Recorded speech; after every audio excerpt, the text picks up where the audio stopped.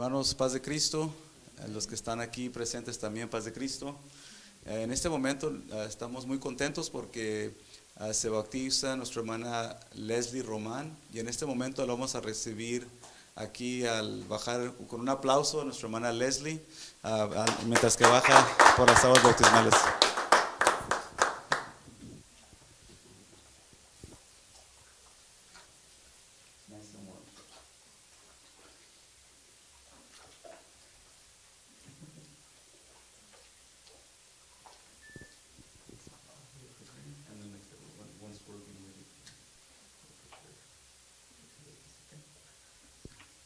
Hermanos, en este momento nuestra hermana Leslie uh, Román, ella uh, ha decidido tom tomar este paso de bautismo para la honra y la gloria del Señor y estamos muy contentos porque ella en este día uh, se bautiza, como dice la palabra de Dios, que, que los ángeles hacen fiesta cuando un pecador se arrepiente y también que su nombre será escrito en el libro de la vida.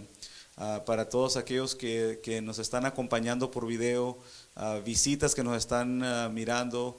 Ah, esta es la decisión más importante de nuestra vida, de dar nuestra vida al Señor Jesucristo. Cuando uno toma este paso, uno pasa por las aguas bautismales, ah, como decíamos en la predicación, en este, en este día que nosotros nos, nos identificamos con Jesucristo.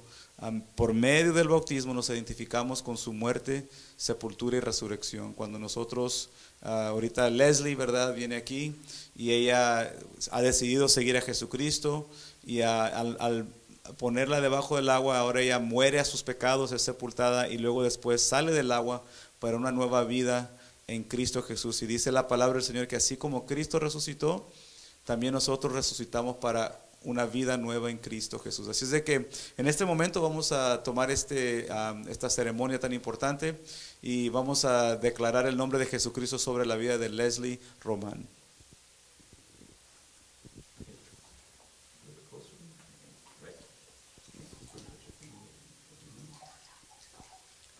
Leslie Román, yo como ministro del Señor Jesucristo, te bautizo en el nombre de Jesucristo para perdón y remisión de tus pecados y que el Señor te siga llenando con su Espíritu Santo en el nombre de Jesucristo.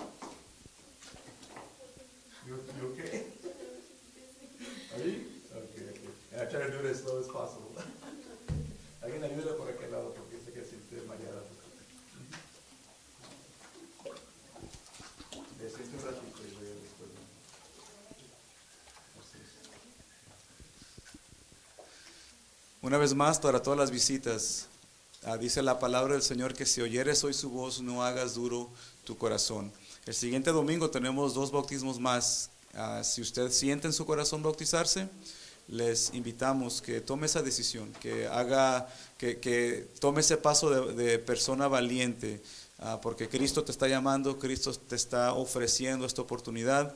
Y recuerde que todo esto sí tiene su momento de clausura, el momento que Jesucristo llega y regresa por su iglesia, ese es el momento que todo esto termina, ya no habrá oportunidad para bautizarse. Así es de que les invitamos que tome la decisión lo más pronto posible porque Cristo está llamando a su corazón. Les amamos en el Señor Jesucristo, Dios les bendiga.